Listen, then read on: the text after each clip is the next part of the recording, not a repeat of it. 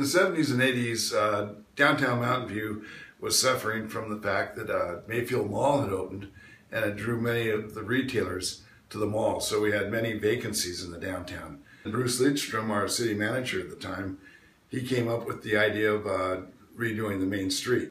So with his wisdom, uh, we, we chose to go that way. It pulled all the merchants together, and we all thought it was a good plan.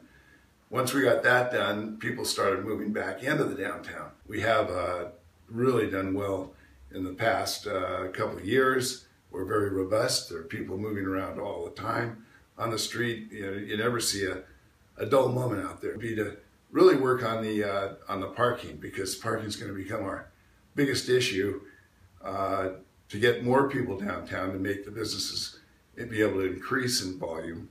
And all those people are going to add to the commerce of the downtown. So I see parking as our main thing for our infrastructure in the future. The next step, the next step of our revitalization.